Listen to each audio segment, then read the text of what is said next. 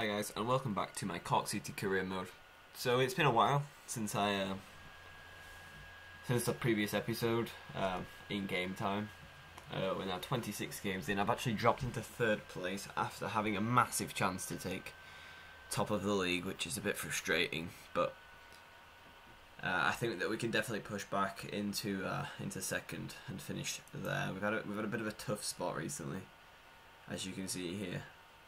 We haven't won in the Premier Division for five games, um, but hopefully, with a win over Sligo Rovers, we can push up into second and uh, and, and maintain that position for the remainder of the season.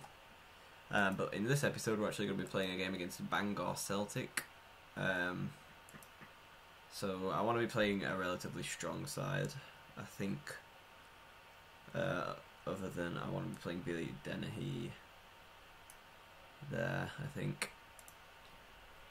Um, but other than that, I think we've got a strong team out. Uh, there's no suggested opposition instructions or anything. So I'll go straight in. It's another game that I do expect to win. Um, we've obviously now won the um, Munster Senior Cup. We are in the final of the League Cup and um, if we win this one, we're going into the quarterfinals of the uh, Senior Challenge Cup.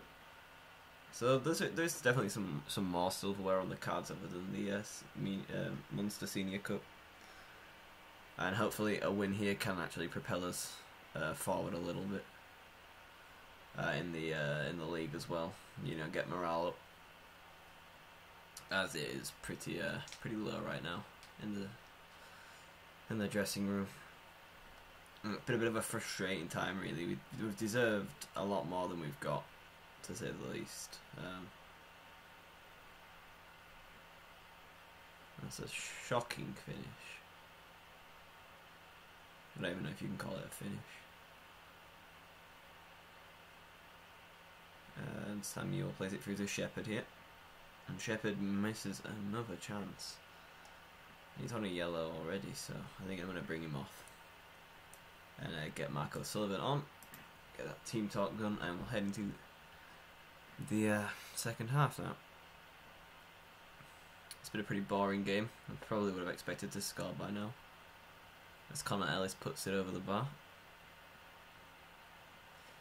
We're definitely dominating the game. Billy Dennehy has taken an injury, so I'll bring on Mulcahy. Whoa. What's happened? Undo. Okay. Going right mid. We really need a win.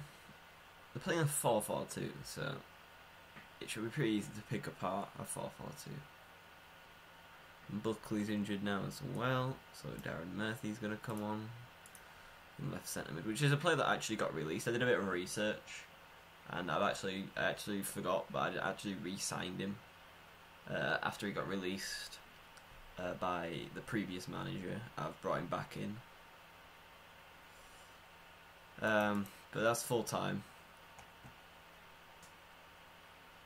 Aaron Dennehy getting player of the match. Nothing to bring there at all, really. I don't think there's many shocks there other than maybe Shamrock Rovers being held to a draw. That's about it, really. Uh, so let's just check our injuries. To five weeks with Buckley, three weeks with Dennehy. And Shamrock Rovers have just sacked their manager. But controversially, I am actually here on the sack race, apparently. Even though I am third. I'm potentially pushing into second. I've also won a cup, so controversial, but hopefully I can uh, win the League Cup against Dundalk, or actually top of the league, and progress a little bit further in the Senior Challenge Cup. So, I guess we'll all see in the future. If you can, if you look here, we we can only finish top six now, so that's that's always good. Uh, and as the games progress, we'll hopefully um, secure opposition top three and eventually top two, I do hope. But um, regardless, a lot of easy games to come. UCD, Athlone, Limerick. Uh, so we've also got a, another game against the Dundalk, and uh, one against St Patrick's Athletics, which could be a big game changer. So um, I think the next episode I will do the final of the League Cup, and then uh, take a look at the uh, when the Challenge Cup's ending to see how it all goes down.